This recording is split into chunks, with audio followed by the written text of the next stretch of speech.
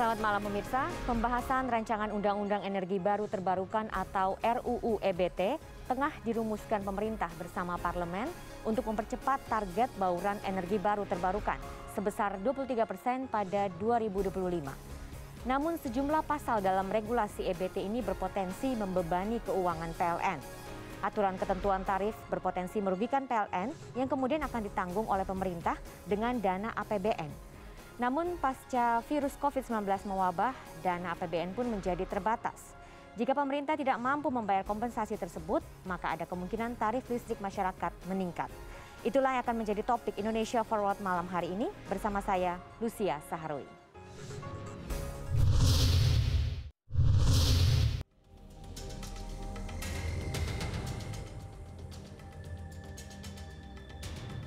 Sejumlah pasal dalam draft RUU EBT berpotensi membebani PLN, pemerintah, dan juga masyarakat.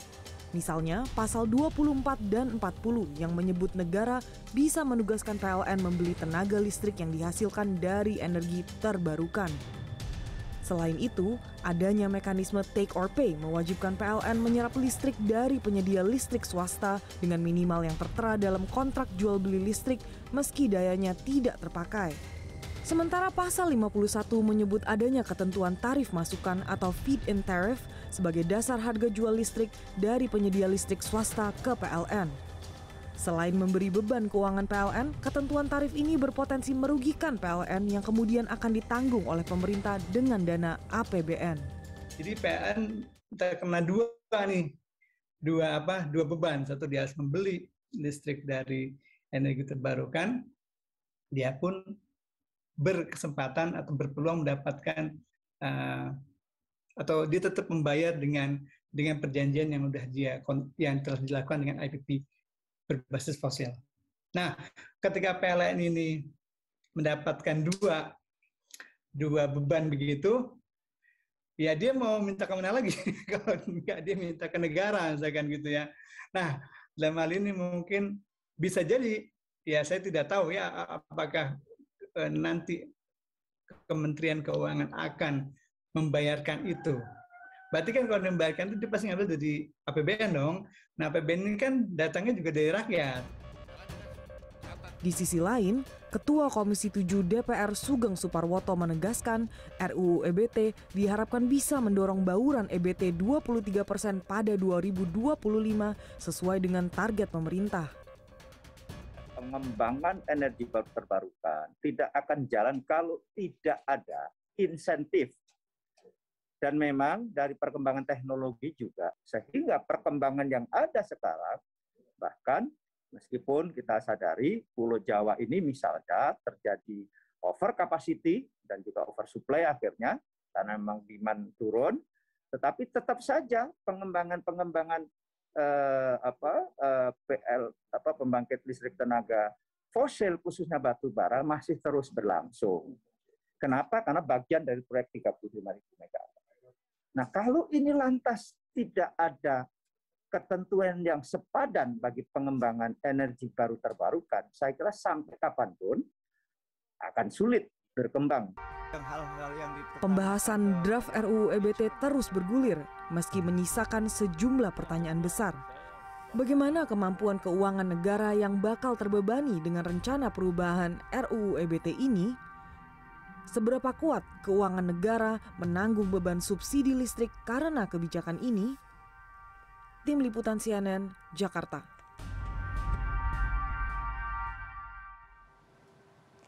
Guna membahas topik seputar ancaman kenaikan tarif listrik di balik regulasi energi baru terbarukan, sudah hadir tiga orang narasumber saya malam ini melalui sambungan Zoom.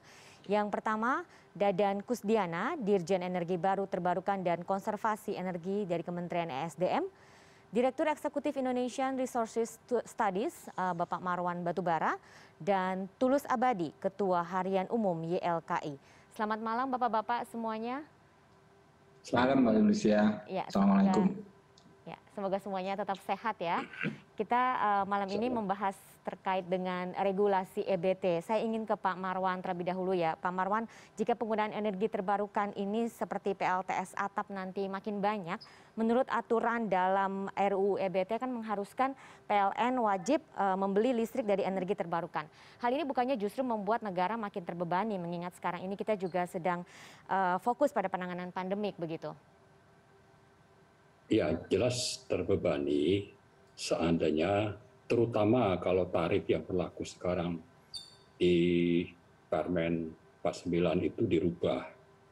Terutama bicara soal tarif ekspor impor eh, listrik dari eh, konsumen yang memasang PLTS atap sekarang itu tarifnya adalah kalau ekspor ke jaringan PLN itu 0,65. Kalau impor itu satu perbandingannya. Jadi 0,65 banding satu. Saya kira itu sudah cukup fair. Padahal ada kajian akademik sebetulnya justru yang lebih adil itu adalah 0,56. Nah sekarang, sekarang itu, itu rencananya malah di uh, akan dirubah menjadi satu banding satu nah kalau satu banding satu itu artinya ini cumpang numpang lewat di jaringan PLN. Padahal PLN itu perlu membangun berbagai sarana. Memang ada yang mengatakan bahwa kan pelanggannya cukup e, menarik e, kabel ya dari rumah ke jaringan PLN. Oke, tapi e, dalam rangka supaya supply listrik itu tidak intermittent, intermittent terputus-putus, itu kan ada sarana, ada supply yang harus dijamin oleh PLN supaya itu tidak terputus-putus. Jadi tidak sekedar satu banding satu. Nah ini ada nggak perhitungannya? Kalau memang itu tidak ada ya jelas kita menganggap ini sesuatu yang harus ditolak. Kenapa? Karena e, membuat seolah-olah ini cuma numpang lewat aja di sarana milik negara, lalu nanti dasarnya adalah dalam rangka mempercepat return dari 10 tahun menjadi 8 tahun. Jadi ini lebih mengakomodasi kepentingan bisnis dibanding kepentingan pelayanan bagi seluruh masyarakat.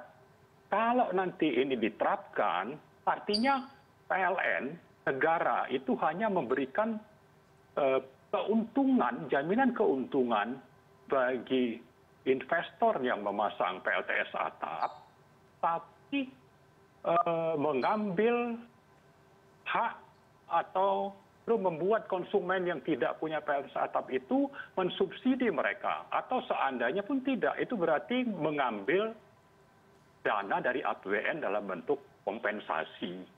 Nah karena itu saya kira kita mendukunglah yang namanya penggalakan menggalakkan penggunaan ebt tapi harus adil harus menjamin keberlanjutan eh, layanan dari pln kalau tidak itu nanti bisa membuat eh, pelayanan pln itu tidak berlanjut. Ya. dan kita bisa saja mendengar dari pemerintah itu ini dalam rangka mengejar target 23 EBT. Nah, kenapa cuma ini? Padahal sekarang ini ada proyek 35 megawatt yang semuanya itu PLTU 35. Jangan lupa itu 25 ribu. Ini PLTU semua. Kenapa itu tidak dirubah? Kenapa melaksakan ini? Lalu ini juga hanya segelintir orang yang akan menikmati keuntungan. Apalagi nanti yang saya dengar itu eh, kapasitas pelanggan ini itu katanya antara 200 kVA sampai 20 20 mega 20 ribu PA. Kalau sedangkan pelanggan itu paling juga eh, sepersepuluhnya juga tidak ada. Nah, jadi kita juga mempertanyakan ini motifnya apa ini. Lalu rakyat nanti berhadapan dengan negara yang seolah olah tidak mau mendengar eh, apa namanya keluhan atau aspirasi dari eh, konsumen maupun dari para akademisi di kampus-kampus yang sudah menyuarakan juga bahwa ini tidak adil, kok memaksakan, kok hanya memikirkan para investor. Baik. Ya kan, jadi salah satu yang kita catat adalah mau untuk bisnis, tapi membuat konsumen yang puluhan juta itu rugi dan pln juga bisa terancam bisnisnya. Dan kalau tidak disubsidi oleh negara maka itu nanti akan menjadi tanggungan konsumen karena naiknya bpp. ya baik. Kita ke pak dadan. Pak dadan ini uh, seperti tadi yang sudah dikatakan Pak Marwan bahwa ini tidak adil begitu karena ada hanya menguntungkan segelintir saja begitu pengusaha di, di, di sisi ini. Nah, ketentuan uh, fit in tarif ini sebenarnya kan sudah ditinggalkan juga oleh beberapa negara seperti Jerman dan Vietnam karena ternyata mengalami uh, harus menanggung beban subsidi listrik yang meningkat begitu. Nah, kenapa kita tidak belajar dari pengalaman negara-negara ini, Pak Dadan? Ya, makasih Mbak Lucia. Selamat malam semuanya ini harus saya luruskan ini. Ini pertanyaan dan dan jawaban yang diharapkannya kelihatannya tidak nyambung gitu kan. Ditanya RUU, ditanya pilih tarif, tapi kan PLTS atap. Menurut saya kan ini beda. Kita kalau untuk PLTS atap tidak ada kaitannya dengan pilih tarif. Tidak ada tarif yang berlaku. Kami juga memahami bahwa pilih tarif ini sudah uh, mulai ditinggalkan di Eropa tapi mereka sudah melewati posisi apa namanya eh, pemanfaatan energi terbarukan di awal. Nah, kalau kaitannya dengan RUU EBT, EBT ini adalah inisiatif eh, DPR ya. Jadi ini masih di DPR, masih di Komisi 7 DPR. Pemerintah sendiri belum menerima, menerima secara resmi RUU rancangan dari undang-undang EBT ini seperti apa, secara formal kami belum terima. Memang diskusi-diskusi sudah berjalan di dalam forum-forum yang yang bukan antara pemerintah dengan dpr ya. Di situ tidak ada juga disebutkan feed tarif. Yang ada itu adalah bahwa harga energi terbarukan itu nantinya ditetapkan oleh pemerintah. Sama sekarang juga semua harga kalau energi itu ditetapkan oleh pemerintah. Karena urusannya kan ini urusan publik ya. Jadi ini dilakukan oleh pemerintah penetapan harganya. Bahwa harganya itu nanti ada skema feed tarif Uh, untuk yang IPP, untuk yang pengembang gitu ya, yang akan uh, dibeli oleh PLN, itu sekarang pun juga berjalan itu untuk hal tersebut ya. Skema-skema itu ada skema lelang, tarifnya semua ditetapkan oleh pemerintah, oleh Menteri SDM. Setiap IPP itu disetujui oleh uh, Kementerian ESDM ya. Memang uh, regulasinya kan seperti itu. Tapi kalau merespon kepada PLTS atap, sekarang ini juga kan sudah berjalan ya kebijakan plts atap ini kan sudah berjalan. Sudah ada regulasi yang berjalan. Angkanya sekarang adalah 65 persen. Jadi ini saya jelaskan dulu 65 persen itu maksudnya apa gitu. Uh, saya kasih contoh. Misalkan kalau kita memproduksi listrik 100 kWh kemudian listrik ini diekspor ke PLN 100 kWh semuanya itu yang bisa diambil titipan tersebut itu adalah 65. Tapi sebetulnya dalam konteks uh, implementasi, kebetulan saya juga sudah cukup lama masang uh, PLTS atap ini. Jadi sebagian besar itu PLTS-nya, uh, listriknya itu dikonsumsi sendiri. Memang uh, arahnya itu adalah dipakai sendiri. Untuk kelebihannya ini diekspor ke PLN, dititipkan. Tidak ada jual beli, tidak ada transaksi. Ini nanti karena sekarang itu sebetulnya pemanfaatannya kan masih rendah. Selama tiga tahun kita berjalan dua tiga tahun berjalan ini baru 35 megawatt. Baru dari 4.000 konsumen. Kami melihat bahwa dengan kebijakan pemerintah kita punya undang-undang energi tahun uh, eh, 2007 ya undang-undang 30 situ juga disebutkan bahwa pemerintah menyediakan insentif untuk pemanfaatan energi baru terbaru. Kita punya kebijakan energi nasional, itu peraturan pemerintah tahun 2014. Disebutkan di situ bahwa targetnya adalah 23 persen di 2025. Kita punya rencana umum energi nasional yang merupakan penjelasan dari hal tersebut. Kita, pemerintah, uh, sudah menandatangani Paris Agreement, capaian 29 persen. Paris Agreement ini tidak akan tercapai kalau memang pemanfaatan yang terbarukannya seperti sekarang. Tahun lalu kita penambahan listriknya itu 200 megawatt. Tahun ini kita uh, sampai bulan ini kita sudah berhasil menambah 217 megawatt. Prognosa kami untuk tahun ini kita kira-kira akan nambah di angka 700-an. Ini kalau dengan pola seperti ini tidak akan tercapai semua, 23 persen tidak akan tercapai, komitmen pemerintah untuk di Paris Agreement, untuk penurunan gas rumah kaca pun tidak akan tercapai. Jadi memang banyak upaya yang dilakukan oleh pemerintah dalam hal ini Kementerian SDM bagaimana untuk mendorong pemanfaatan energi terbarukan ini. Nah, kalau saya kembali ke PLTS atap yang tadi disampaikan oleh Pak Marwan, bahwa ini tidak ada transaksi. Ini, ini bukan jual beli, ini tidak ada tarifnya. Jadi ini diususkan kepada konsumen, konsumen PLN yang di tempat-tempat yang lain di negara yang lain bahwa inisiatif ini kan berjalan uh, cukup baik ya. Kebijakan untuk satu-satu ini sama di Malaysia juga satu-satu. Di kita juga sebelumnya itu satu-satu juga. Nah sekarang yang berjalan adalah satu berbanding 0,65. Jadi kalau kalau saya lihat bahwa ini adalah upaya gotong royong bersama dari masyarakat dan pemerintah uh, sesuai dengan undang-undang energi itu menyediakan insentif. Nanti kalau ada kesempatan saya sampaikan berapa sebetulnya angka-angka kalau kalau disebut tadi bahwa ada subsidi, ada peningkatan BPP, gitu, seperti itu ya. Ya, tapi Pak Dadan, satu banding 65 ini uh, tidak akan merugikan PLN begitu menurut Anda? Kami sudah melakukan kajian, jadi jadi pasti setiap penyusunan kebijakan itu banyak persiapannya. Kita juga sudah diskusi banyak dengan banyak pihak sejak awal tahun untuk hal-hal seperti ini ya. Untuk penyiapan uh, sehingga kembali menjadi 100% seperti aturan-aturan sebelumnya. Ingin saya sampaikan di sini juga bahwa dari angka-angka yang kami punya, dari data data PLN, kalau misalkan rumah tangga, rumah tangga 100 kwh misalkan produksi listriknya satu bulan. Itu kalau dari uh, data real yang kami punya yang dikonsumsi sendiri itu angkanya itu sekitar 76 persen.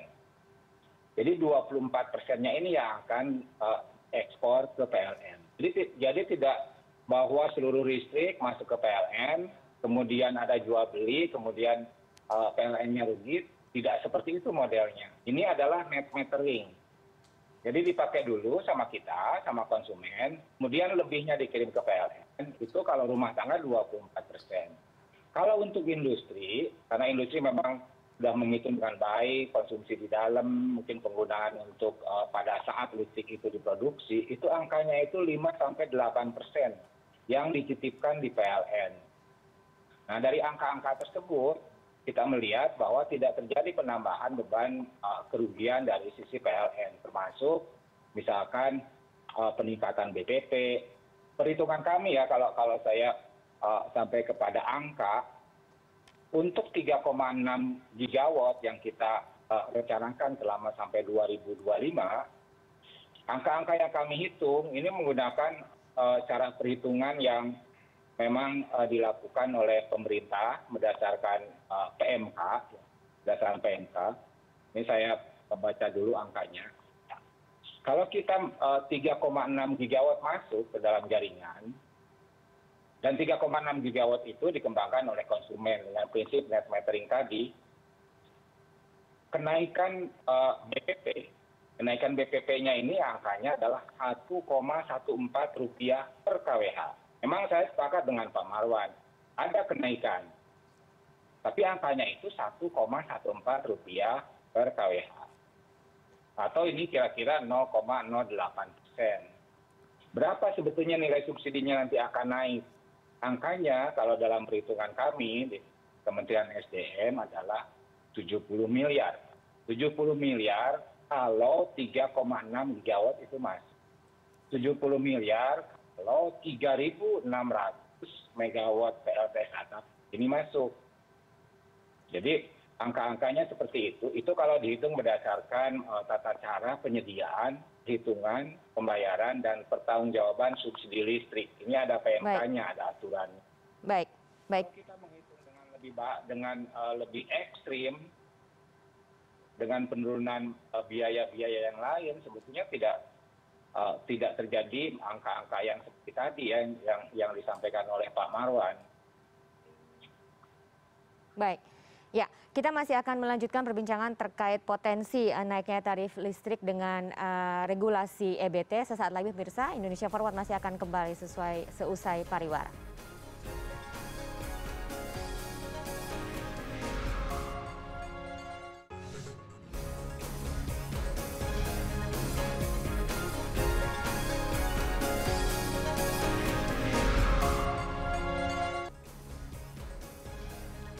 Kembali di Indonesia Forward bersama saya Lucia Saharui dan kita masih berbincang mengenai ancaman tarif listrik naik di balik regulasi EBT bersama tiga narasumber saya malam ini. Pak Marwan, tadi kita sudah dengar penjelasan Pak Dadan dari Kementerian ESDM bahwa tidak ada transaksi jual beli begitu yang harus dilakukan oleh PLN.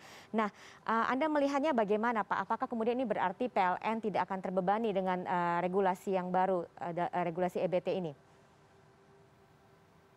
Soal transaksi saya kira juga perlu diingatkan ya bahwa eh, yang namanya konsumen terutama yang pasang PLTS atap itu eh, biasanya bayar tagihan listrik. Tapi dengan ini berarti tidak bayar tagihan.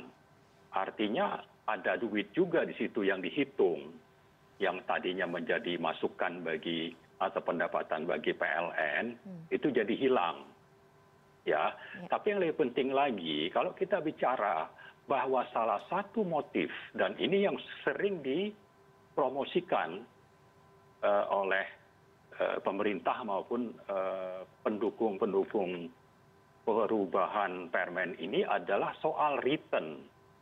Return dipercepat. Berarti kan motifnya lebih kepada bisnis jadi karena itu eh, jangan juga lalu kita terkecoh dengan statement tidak ada eh, uang yang dilibatkan. Saya kira itu pasti ada. Jangan jangan seperti itulah. Kita kan juga ngerti hitung hitungan orang biasanya bayar tarif listrik sekarang tidak. Dia investasi di awal. Itu itu yang pertama. Yang kedua tadi eh, Pak Dadan menyebutkan tentang kerugian ya sebetulnya satu hal yang paling penting adalah dengan adanya pasokan listrik atau ekspor listrik dari plts atap ini maka ada dampak terhadap pembangkit pembangkit milik pln. Nah, dengan pasokan ini ada sebagian dari pembangkitnya yang operasionalnya itu tidak optimal atau dikurangi dengan begitu operasi dari pembangkit ini menjadi tidak efisien artinya di situ ada kos yang naik karena itu hitung hitungannya ya ini juga saya dapatkan dari pakar pakar terutama dari itb disebutkan bahwa tidak sekedar tadi yang disebutkan Pak Dadan itu hanya berapa puluh miliar, tapi sampai TT-an gitulah. Hmm. Ada T-nya gitu. Nah, tapi menurut logika memang ada pasokan listrik tidak pakai punya pln tapi ini sudah dibangun. Dan gara gara pasokan itu maka mereka harus mematikan pembangkit. Pembangkit ini menjadi tidak efisien dan itu dianggap sebagai biaya. Kenapa? Karena sebagian besar juga pembangkit itu disiapkan eh, dengan skema misalnya take or pay di mana di situ ada fixed cost, ada juga yang variabel kalau bicara energi primer. Nah, ya. karena itulah ini ada kajian dari uh, kampus, ada mungkin kajian dari PLN, ada dari SDM. Kenapa tidak sebelum ini diterbitkan ketemu dulu? Dan saya kira PLN dan kampus itu mewakili puluhan juta pelanggan dibanding hanya segelintir investor ya yang akan membangun PLS atap itu yang lebih banyak diakomodasi oleh EBTKE. Oke. Nah, saya tidak melihat ini dilakukan. Jadi kita sebagai konsumen meminta pemerintah jangan memaksakan kehendak tanpa memperhatikan kepentingan konsumen satu, yang kedua keberlanjutan pelayanan terutama oleh PLN. Kita Ya. tidak mau PLN itu menjadi perusahaan lilin negara nantinya. Kenapa? Karena terlalu banyak beban. Ya, Ya. sekarang saja listrik 35 ribu yang sedang dibangun memang diundur sebagian, tapi ada sarana yang sudah dibangun oleh PLN untuk me- mengantisipasi datangnya 35 ribu pembangkit eh, megawatt pembangkit itu yang sudah terlanjur dibangun dan ini akibat dari eh, kesalahan pemerintah lah. Tapi ini menjadi beban PLN. Kalau sudah menjadi beban, beban PLN itu artinya beban pelanggan listrik, BPP listrik naik.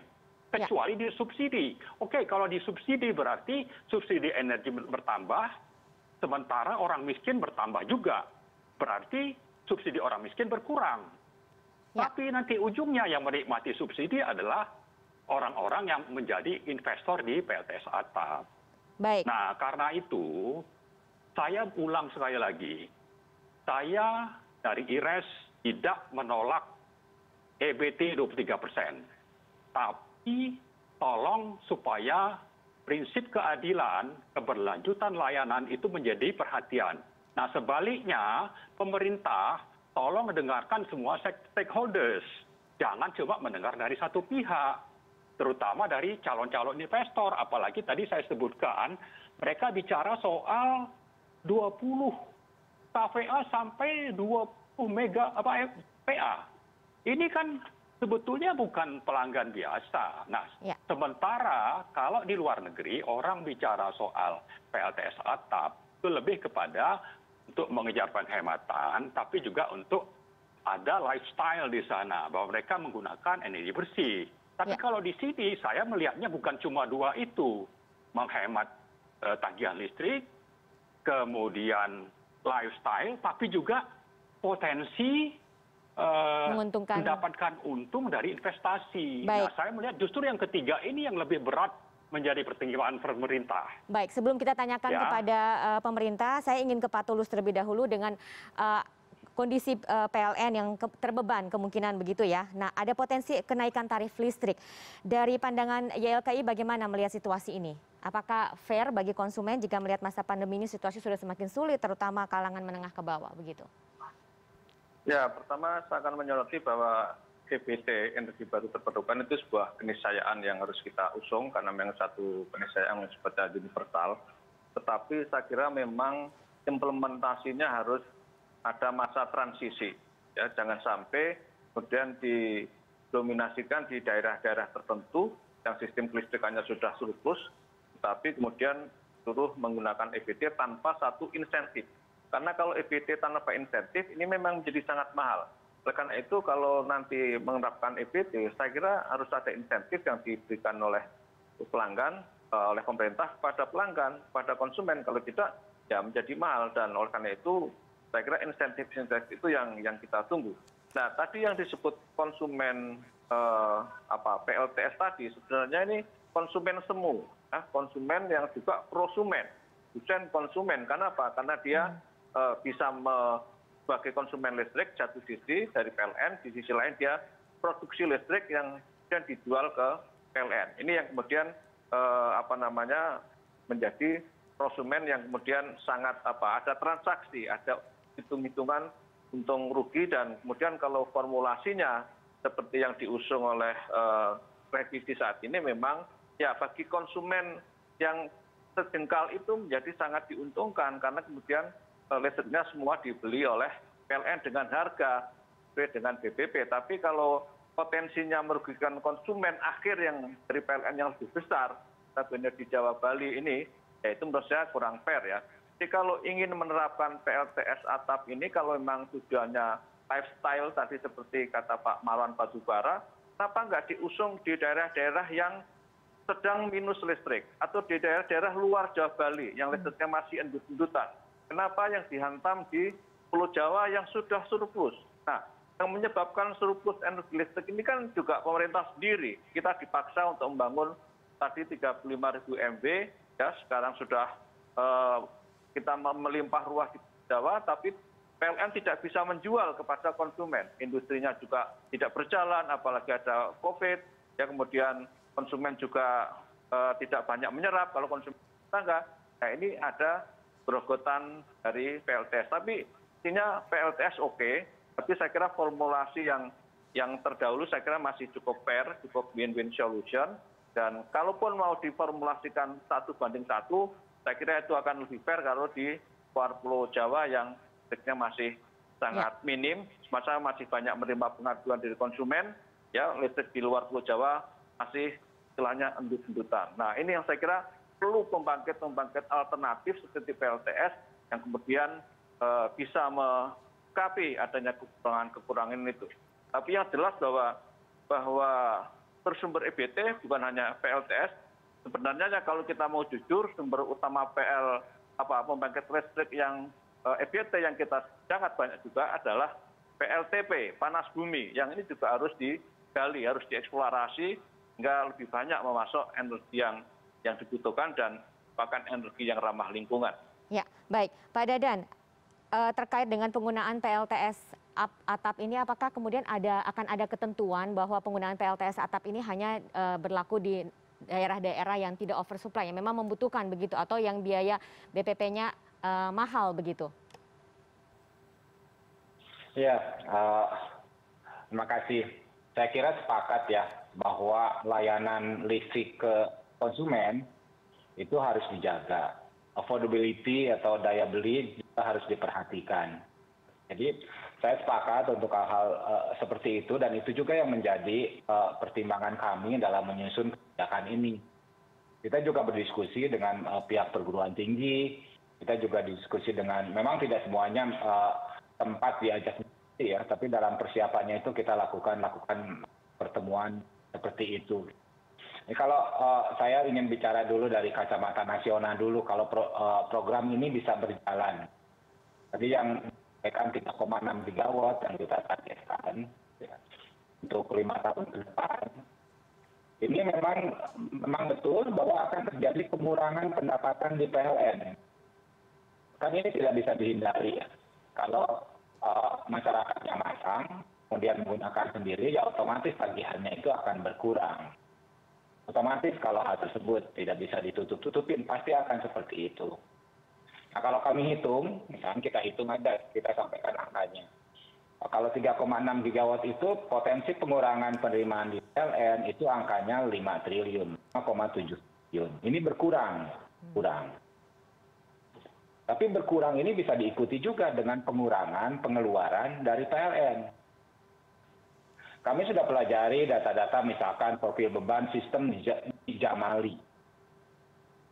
Di Jamali ini sangat jelas bahwa memang beban puncaknya itu dimulai itu dari siang hari, kemudian memang puncaknya akan di malam.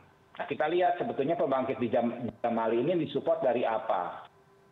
Persis bahwa PLTU di situ yang paling besar ya PLTU itu 73 persen. Kemudian ada panas bumi, ini menjadi baseload semua. Panas bumi 5 persen. Misalnya, ini di, di, di apa yang dimanfaatkan, dipakai untuk mengikuti profil beban. Dan kalau uh, mungkin nanti dalam kesempatan lain saya sampaikan uh, grafiknya, untuk mengikuti beban itu berasal dari tiga jenis pembangkit. Yang pertama adalah dari LNG, kemudian yang kedua dari taman dibanding dari saat gitu ya. Yang ketiga adalah dari pembangkit hidro, sedikit dari uh, pembangkit diesel. Kan kalau orang listrik ini agak uh, pasti cepat melihatnya. Ya. Untuk listrik diikutin untuk uh, beban, kan yang dipakai itu kalau kalau saya lihat ini dari grafiknya ini adalah pemanfaatan gas gas ini kan uh, agak simpel ya di dalam peroperasian bisa bisa mengikuti cepat secara uh, bebannya. Sehingga kalau pas bebannya tidak dibutuhkan di situ, ya gasnya ini dimatikan. Kebetulan gas ini kan jauh uh, lebih mahal dari batu bara. Ini kalau dihitung angka-angka yang tadi saya sampaikan itu itu akan lebih uh, mengurangi gitu ya, mengurangi dari sisi uh, Eh, apa namanya kehilangan pendapatannya dari PLN karena kosnya juga berkurang. Saya punya hitungan misalkan kalau uh, eh, 3,6 gigawatt ini uh, bisa berjalan, 3 juta ton dari batu bara ini bisa dikurangi peng, uh, penggunaannya. Kemudian berpotensi menyerap tenaga kerja sebesar 121 ribu orang. Berpotensi meningkatkan investasi, angkanya 45 sampai 63 triliun. Juga mendorong terciptanya industri yang semakin hijau, green product. Sekarang kan kita lihat banyak industri yang bergeser ya ke negara tetangga, karena di sana memang listriknya jauh lebih hijau daripada kita. Kita juga nanti akan uh, mungkin akan sulit untuk mengekspor produk-produk kita kalau memang uh, energinya ini berasal dari uh, yang punya emisi yang sangat tinggi atau yang berbasis fosil. Kita harus menyiapkan hal tersebut, gitu, mendorong supaya terciptanya green product baik itu di sektor jasa maupun di industri. Berpotensi menurunkan emisi gas rumah kaca sebesar 4,6 juta ton. Dan di sisi yang lain ini juga akan mendorong tumbuhnya industri pendukung PLTS di dalam negeri yang sekarang kita lihat kan belum berkembang dengan baik. Jadi kalau kalau kita uh, melihat kalau kembali ke 0,65 berapa? Nah kita lihat 2-3 tahun itu angkanya 35 megawatt, 4.000 konsumen. Jadi kalau kalau dengan angka tersebut ya kita akan lihat nanti 2004 itu angkanya ya 70 megawatt apakah segitu kemampuan Indonesia untuk mendorong pemanfaatan EBT di dalam negeri? Gitu. Kita ini negara besar, kita punya potensi demikian besar, gitu ya. Jadi kalau bahwa betul bahwa PLN sedang excess supply untuk hal tersebut, dan kita juga memahami bahwa uh, perlu ada upaya dari PLN. Gitu ya. Kalau kalau PLN tidak mengelola dari sisi pengoperasian pembangkitnya, memang kekhawatiran-kekhawatiran yang disampaikan ini akan terjadi. Okay. Tapi kan saya kita melihat bahwa bahwa PLN itu juga mengelola pembangkitnya dengan baik. Kita punya data, data-data harian untuk yeah. sistem Jamali. Gitu. Sebetulnya kalau untuk PLTS atap kan ini semua pun uh, boleh memanfaatkan gitu ya, pola ini. Sampai sekarang yang 0,65 juga melakukan hal untuk seluruh konsumen. Baik. Nah, kalau saya bicara mikro, bicara mikro misalkan kalau uh, menggunakan terminologi uh, harga yang tadi disampaikan, kalau listrik industri ekspor ke PLN, kemudian pada saat yang sama listrik itu dimanfaatkan untuk rumah tangga, kan listrik itu pasti akan mengalir ke yang terdekat. Itu dimanfaatkan misalkan misal ini perhitungan uh, simpel saja bisa rumah tangga itu kan tarifnya itu berbeda. Jadi sebetulnya dalam case ini, dalam dalam kasus seperti ini, kan tarifnya lain, dijualnya lain. Tarif yang nanti akan uh, listrik yang akan uh, dimanfaatkan kembali oleh industri, itu tarifnya kan lebih murah kalau Baik. untuk industri. Baik, Pak Dadan. Bisa kita... dijual ke PLN dengan lebih mahal. Baik, Jadi kita masih akan membahas ini lagi lebih lanjut. Lebih menguntungkan. Untuk PLN. Baik, kita masih akan bahas ini lebih lanjut Pak Dadan. Pemirsa jangan ke mana-mana, Indonesia Forward masih akan segera kembali usai jeda berikut.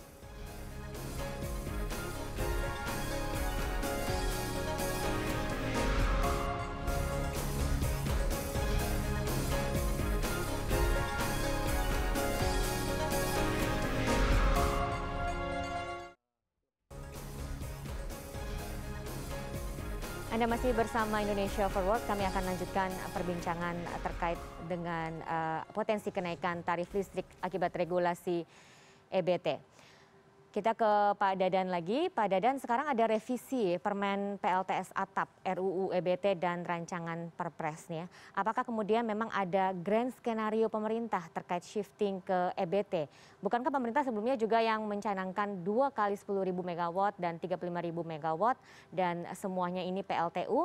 Terus kemudian bagaimana sebenarnya roadmap-nya Pak? Ya, terima kasih Mbak Lucia. Uh, Betul, sekarang berjalan program 36 ribu, 35 ribu juga berjalan, yang sebelumnya juga diselesaikan. Gitu. Kenapa sih PLTU-nya tidak dibatalkan? Mungkin begitu ya e, pertanyaannya. Karena sudah kontrak, karena sudah dibangun. Sekarang sudah 97 persen kalau tidak salah angkanya gitu ya. Yang memang ini sudah tidak bisa di stop. Ini sudah sudah jalan. Kalau di stop, ya karena karena kontrak tadi bahwa ini nanti pasti ada dampaknya dari sisi uh, dari sisi komersial. Jadi kami juga memahami untuk hal tersebut gitu ya. Inginnya sih sebetulnya yang yang belum dibangun gitu ya PLTU ini ya sudah kita geser, kita ganti dengan uh, PLT EBT yang lain gitu. Tapi kan tidak bisa. Ini PLN juga menyampaikan bahwa tidak bisa kalau untuk yang sudah berkontrak meskipun itu belum dibangun apalagi yang sudah financial close sehingga ini uh, tetap harus dihormati dan dan kita nanti akan masih akan lihat bahwa pembangkit-pembangkit tersebut akan muncul tapi sebagai komitmen dari pemerintah bahwa kita tidak ada lagi penambahan PLTU untuk yang baru ya untuk yang baru. Jadi kalau melihat dari roadmap yang yang ada di pemerintah maupun di PLN, terakhir PLTU masuk itu di tahun 2027 atau paling telat di 2008. Ya, tapi kita mungkin itu uh, juga harus melihat ya. Pak, Pak bahwa karena adanya proyek 35 ribu megawatt ini PLN kemudian terlilit utang hingga 500 triliun begitu. Jadi apakah PLTU ini kemudian uh, sia-sia begitu? Just, justru itulah makanya ini tidak bisa diberhentikan karena kalau diberhentikan kan kan sia-sia. Hmm. Per sekarang menurut saya semua pembangkit kebetulan kita sekarang ada pandemi. Kalau angka yang kami lihat ya di 2020 uh, dari apa namanya penurunan dari 2019 itu angkanya kan uh, 1 sampai 2 persen turun dari sisi demandnya gitu ya. Jadi uh, per sekarang semua yang kontrak yang dengan dengan IPP itu kan memang semuanya menggunakan take or pay ya. Dipakai nggak dipakai kan harus dibayar gitu. Yeah. Dan ini kan kita tidak bisa menghindar untuk sesuatu yang sudah terjadi. Ya. Sekarang pemerintah uh, memang dari awal sebetulnya, uh, tapi sekarang lebih uh, berupaya untuk diakselerasi untuk pemanfaatan energi terbarukannya. Nah tempatnya yang mana? Kalau ini tidak bisa, ini tidak boleh, ini diprotes gitu ya dari sisi EBT, ya terus kapan kita bisa majunya? Tapi ada kondisi-kondisi yang sudah sudah berjalan dan kami menghormati untuk hal tersebut, ya kita lakukan strategi-strategi supaya upaya-upaya percepatan dari pemanfaatan energi bersih, kita sudah berkomitmen di dalam, kita sudah berkomitmen di luar, kita ingin juga menjadi bagian dari masyarakat internasional yang memang sekarang harus bergeser harus bergeser kepada energi bersih. Tadi Pak Tulus menyampaikan ini kan sebuah keniscayaan. Tapi kami sangat paham bahwa uh, ini harus dilakukan bertahap. Jadi kita tidak memilih opsi misalkan percepatan uh, penutupan PLTU batubara. Kita tunggu kontrak itu habis, setelah itu tidak diperpanjang. Nah ini, sudah masuk nih roadmap-nya. Kemudian nanti digantikan pembangkit itu dengan pembangkit energi terbarukan. Jadi secara bertahap nanti akan hilang PLTU batubaranya. Jadi, Oke, ataukah mungkin penggunaan batu bara dialihkan dengan penggunaan uh, dari sisi pemanfaatan energi terbarukannya ya. Oke, apakah mungkin penggunaan batu bara dialihkan begitu dengan penggunaan biomas misalnya sehingga PLTU tetap bisa berjalan? Sekarang sudah berjalan ya Mbak Lucia untuk yang yang sebut itu disebut dengan co-firing. Hmm. Jadi kita ingin mempercepat pemanfaatan energi terbarukan, tapi di saat yang sama kan kita tidak bisa menambah kapasitas. Bagaimana caranya? Cara tercepat adalah kita campur, kita campur batu baranya dengan biomasa. Itu sudah dilakukan oleh oleh PLN. Upayanya sangat baik menurut saya untuk mempercepat hal-hal ini. Dan ini masuk di dalam RUPTL ya, okay. Rencana Umum Penyediaan Tenaga Listrik. Ini masuk di situ sebagai bagian dari upaya pencapaian uh, energi terbarukannya. Dan percaya upaya co-firing ini hal yang uh, apa baik itu dari sisi EBT, dari sisi melibatkan masyarakat nanti petani, okay. pengumpul. Baik. Nanti harus seperti itu kira-kira ya. Baik, Pak Marwan, Anda melihat eh, bagaimana apa yang sudah dilakukan oleh eh, pemerintah dengan tetap mempertahankan eh, PLTU, tapi juga di sisi lain berusaha menggantikan EBT secepatnya. Ini bagaimana Anda melihatnya? Saya kira rencana soal EBT itu supaya diurungkan kalau itu baru ya terutama kita bicara PLTS karena DKDN-nya itu disebut-sebut 40 30 persen saja tidak gitu. Sementara ada alternatif, misalnya biomasa, bahwa dengan prinsip co-firing PLTU, itu, itu bisa beroperasi uh, dengan campuran energi primer, batu bara, dan biomasa. Biomasa ini justru kalau bicara persentase jauh lebih besar dibanding tadi plts jauh lebih besar. Sekarang mau atau tidak. Dan di sisi lain juga bagi daerah-daerah ini ada kesempatan lapangan kerja. Bisa diidentifikasi mana saja pltu itu dioperasikan oleh pln maka bangunlah apa namanya industri biomasanya dengan menanam pohon dan sebagainya. Dengan begitu, saya kira target EBT 23 persen itu akan jauh lebih tertolong dibanding dengan PLTS. Tapi ada nggak niat pemerintah? Saya dengar ada usul dari PLN, tapi oleh pemerintah kelihatannya belum diperhatikan. Hmm. Nah, terus juga soal PLTU ini ya, eh, prinsip yang dipakai sekarang itu namanya take or pay untuk 25 tahun. Ini artinya bagi swasta, konglomerat-konglomerat, itu adalah bisnis yang kebal rugi. Kebal rugi. Jadi kalau misalnya bisnis ada masalah, itu yang berkontrak bisa negosiasi. Kemudian kalau ada post major, atau kondisi kahar seperti pandemi itu otomatis sebetulnya bisa direvisi. Cuma ini tidak dilakukan. Artinya dengan sekarang kita sudah e, mengetahui di Jawa Bali reserve margin sudah 60 persen. Di Sumatera itu sekitar 50 persen. Padahal yang dibutuhkan itu mungkin cuma 20 sampai 30 persen. Ada kelebihan hmm. pasokan dan prinsipnya take or pay dan itu artinya beban operasi bagi pln dan itu artinya beban bagi bpp. nah rakyat karena belum tahu aja ini ada eh, apa namanya skema take or pay ini. Mereka oh tarif listrik naik terutama yang non subsidi ya. Mereka terima aja. Tapi kalau tahu dengan kelakuan yang dilakukan seperti ini saya kira bisa saja nanti ada perlawanan masif. Kenapa di tengah pandemi ada force major take or pay tidak direvisi ya lalu konsumen listrik non subsidi dipaksa bayar. Ya dan satu lagi saya ulang tidak ada sebetulnya bisnis yang kebal rugi dalam kondisi force major. Kita dalam kondisi pandemi. Tadi saya lihat di tv tentang moratorium. Ada banyak potensi kebangkrutan di bisnis bisnis di Indonesia. Mereka minta moratorium, mungkin kewajiban hutang dan sebagainya. Sedang dilakukan. Nah ini soal take or pay yang dinikmati konglomerat e, membangun listrik swasta itu seolah-olah jadi bal rugi. Ya. ya, jadi karena itulah sudahlah ini e, PLN menanggung e, cadangan reserve margin 60 persen, mau ditambah lagi dengan beban beban yang tadi yang saya bilang hitungannya ini supaya pemerintah ebtke kampus kampus pln itu duduklah jangan memaksakan kehendak untuk ini satu banding satu gitu karena motifnya lebih kepada bisnis bukan masalah EBT 23 persen atau kelanjutan pelayanan oleh PLN atau apalagi kaitannya dengan bagaimana BP, BPP itu bisa tetap rendah. Sebetulnya kalau skema take or pay itu di review dan dikurangi justru tarif listrik bagi non subsidi itu bisa turun. Ya tapi dengan itu sekarang dengan disepati 60 persen coba saja kita dipaksa untuk terima eh, apa tarif yang begitu mahal.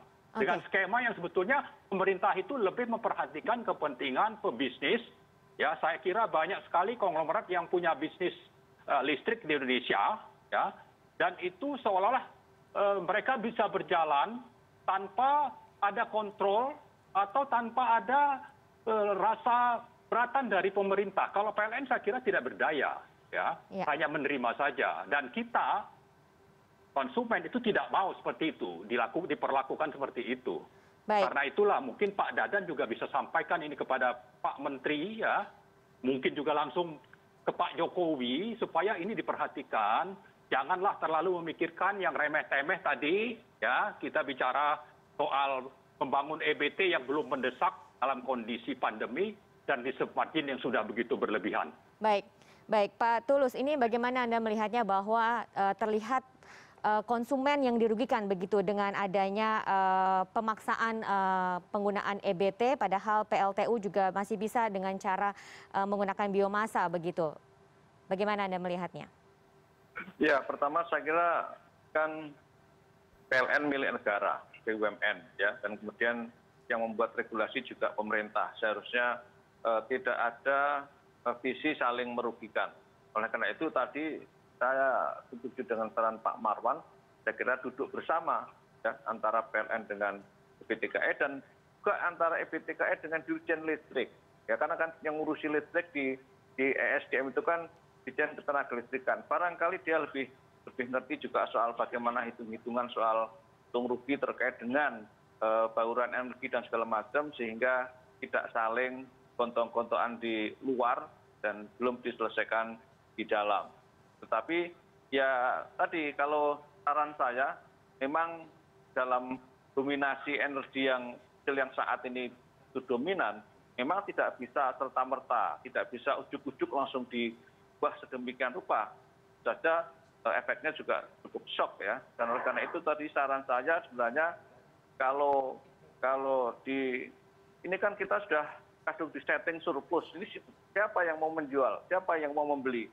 Kalau hmm. kemudian tidak ada konsumennya janji pemerintah untuk bangunan ekonomi ada ada apa eh, ekonomi yang bertumbuh ternyata kan belum. Apalagi kemudian ada pandemi sehingga listrik tidak terserap nah, kalau tidak terserap ini lalu untuk apa ya. dan sementara bangun dengan hutang dan segala macam nah ini yang kemudian potensi ruginya adalah di situ ya jadi sebenarnya bahwa bahwa FBT saya kira ini satu keniscayaan yang memang harus kita akui ya seluruh dunia begitu dan dan sudah menjadi komitmen di RUPTL. Tetapi saya kira tadi implementasinya di area mana, di daerah mana, saya kira itu harus dihitung secara cermat dan kemudian tidak saling kanibal? Ya, karena karena kalau kanibal ya sebenarnya nanti endingnya adalah masyarakat dirugikan. Ya, baik kita masih akan uh, kembali terkait dengan perbincangan tarif uh, listrik yang bisa naik dengan adanya regulasi EBT dalam Indonesia Forward. Kami akan segera kembali usai jeda berikut.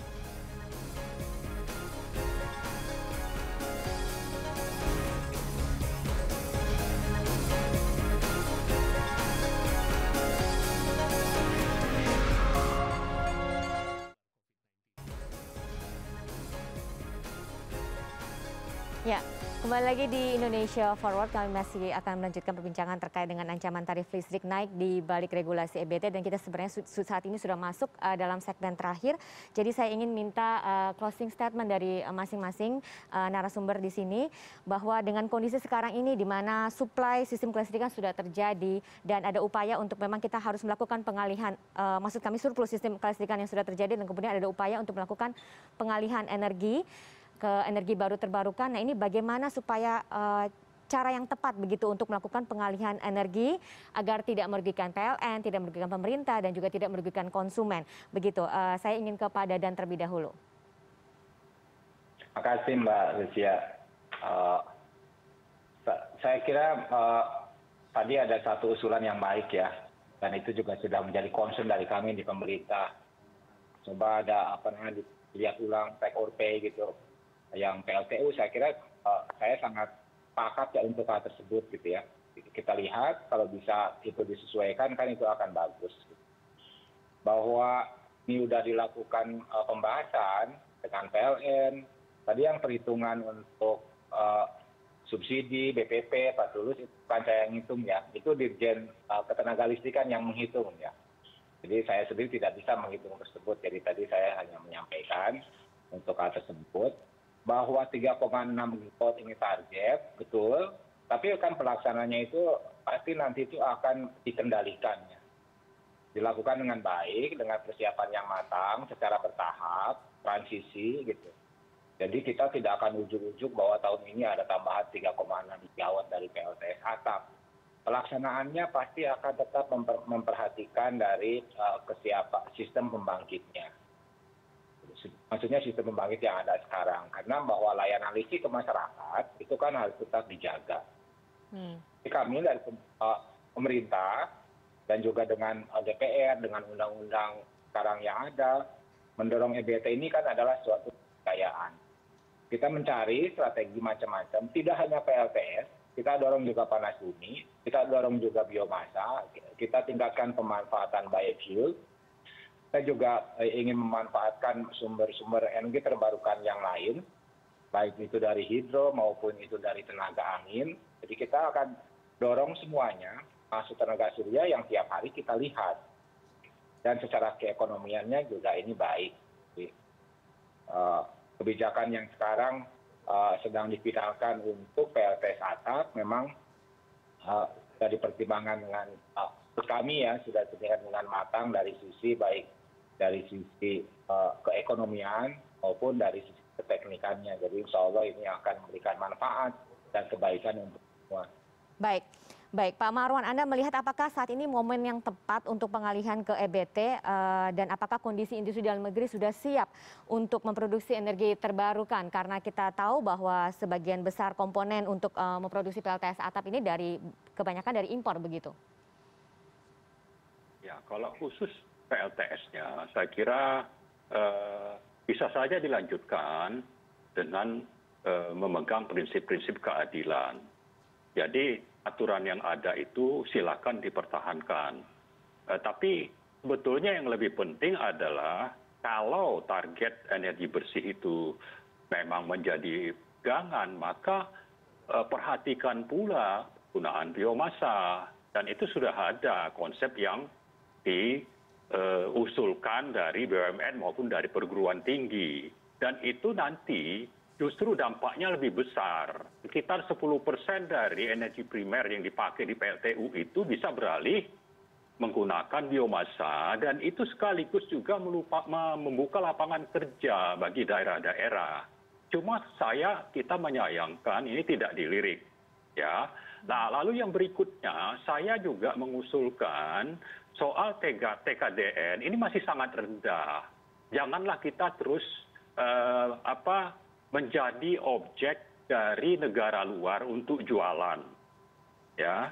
Belum lagi kalau dikaitkan dengan defisit neraca perdagangan maupun transaksi berjalan. Yang saya ingat Pak Jokowi itu berkali-kali mengingatkan menterinya gimana nih defisit bisa diturunkan? Kan nanti bisa dolarnya jadi naik salah ya. satu sebab itu adalah karena kita banyak mengimpor minyak mentah dan bbm nanti kalau ini ditambah lagi oleh solar pv misalnya itu defisitnya akan bertambah. Kenapa? Tidak. Kita kembangkanlah di dalam negeri. Dan apalagi ke depan nanti itu eh, saya kira di seluruh dunia mungkin 20-30 tahun ke depan PLTS itu akan sangat dominan dan kita harus punya pabrik di sini. Harus ada roadmap-nya jangan menjadi objek eh, bagi negara lain untuk jualan. Nah terakhir, ya mumpung ini didengar oleh seluruh rakyat, saya dengan tegas meminta pemerintah mereview semua kontrak TOP supaya turun ada pandemi. Ya, kita berharap ini didengar oleh Pak Jokowi. Kita tidak mau membayar BPP atau tarif listrik yang tinggi seperti sekarang ini akibat dari adanya oligarki jualan listrik lewat perusahaan negara. Padahal perusahaan negara ini mestinya independen dijalankan menurut pasal 33 karena ini menyangkut hajat hidup orang banyak. Jangan karena ada kesempatan bisnis di sana para pengusaha mengambil kesempatan tapi sekaligus merugikan rakyat konsumen. Ya terutama kita bicara force major jadi saya harapkan pak dadan nanti bisa sampaikan bahwa harus turun kita ya. harap kalau bisa dalam waktu sebulan ini ada kabar mudah mudahan nanti cnn indonesia bisa mengundang lagi bagaimana progresnya dan saya harap rakyat mendengar ini gitu Terima kasih, Mbak. Baik, Pak Tulus, Anda melihat bagaimana supaya pengalihan energi menuju energi terbarukan ini tidak merugikan konsumen? Ya, saya tadi dan juga banyak dibicarakan orang itu ada yang namanya transisi energi. Ya, jadi saya kira perlu proses yang baik sehingga tidak saling mengkanibalisme antara sumber yang satu dengan yang lain karena memang ini bukan uh, satu sulap yang kita sekejap mata dan yang pasti dari sisi konsumen konsumen punya hak untuk mendapatkan satu keandalan pelayanan dan harga yang wajar harga yang terjangkau plus sumber-sumber energi yang ramah lingkungan. Ya, jadi itu yang saya kira ke depan memang tidak bisa dielakkan dan kita juga mendukung Pak Panwan dan juga Pak Dirjen bagaimana pemerintah dan juga PLN bisa melakukan renegosiasi terkait dengan TOP tadi. Nah itu yang menjadi eh, pos kemahalan dari listrik kita yang kemudian kita harus eh, apa membayar untuk tidak menggunakan. Nah, ini sangat dirugikan masyarakat. Saya kira demikian Mbak Lucia. Baik, terima kasih Pak Tulus, Pak Dadan dan juga Pak Marwan untuk perbincangannya malam ini. Semoga apa yang kita perbincangan yang menjadi masukan bisa juga diterima uh, oleh pemerintah begitu ya. Dan Indonesia Forward masih akan segera kembali saat lagi pemirsa jangan ke mana-mana.